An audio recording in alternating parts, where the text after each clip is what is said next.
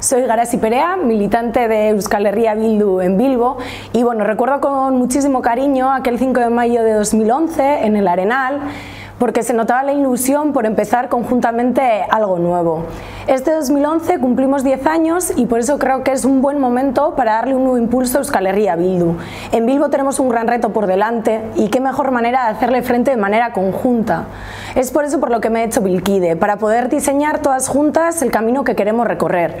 Este es un reto colectivo en el que todas las personas somos necesarias y será muchísimo más ambicioso si lo hacemos entre todas las personas que conformamos Euskal Herria Bildu.